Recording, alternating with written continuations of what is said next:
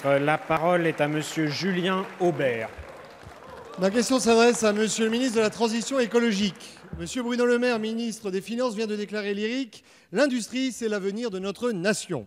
Alors ma question est simple, Monsieur le ministre. Combien exactement de réacteurs nucléaires prévoyez-vous de fermer d'ici à la fin du mandat d'Emmanuel Macron, suivant quel calendrier, pour quel coût budgétaire et surtout, surtout, parmi les 58 en activité, quel site ciblez-vous?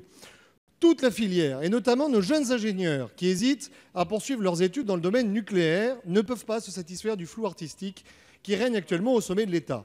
La Cour des comptes dit qu'il faut fermer entre 17 et 20 réacteurs si on applique la loi sur la transition énergétique. Vous annoncez volontairement ou involontairement, je ne sais pas, que vous allez fermer peut-être jusqu'à 17 réacteurs d'ici à 2025.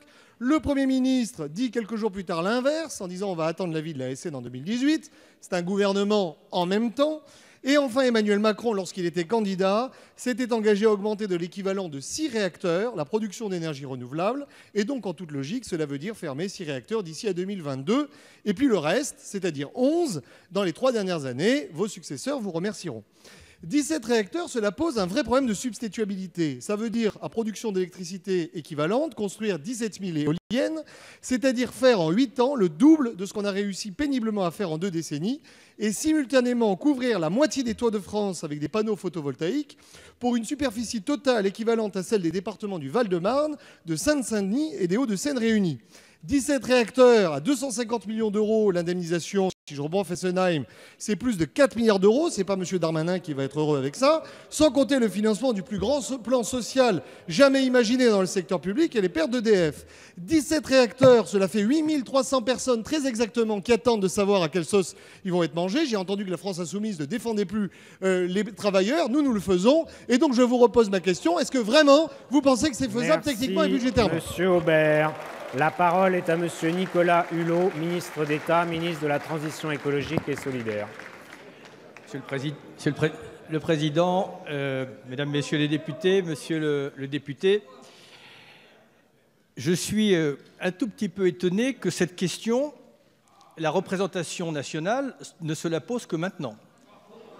Non, la loi sur la transition énergétique, elle ne date pas d'aujourd'hui, et l'objectif de 50%, je suis le premier à avoir fait remonter les conséquences de cet objectif, mais la question vaut d'être posée, parce que si on l'improvise et si on ne l'anticipe pas, je ne vois pas d'ailleurs quelle solution et avec quelle modalité nous allons pouvoir y parvenir.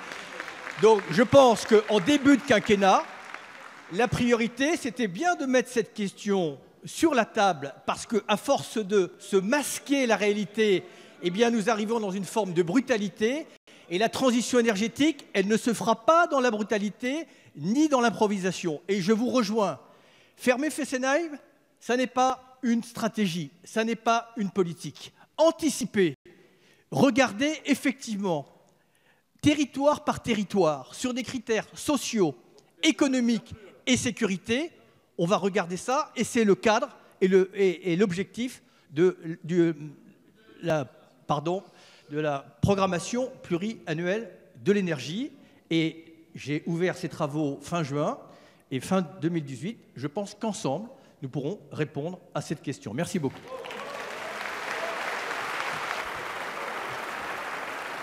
Merci.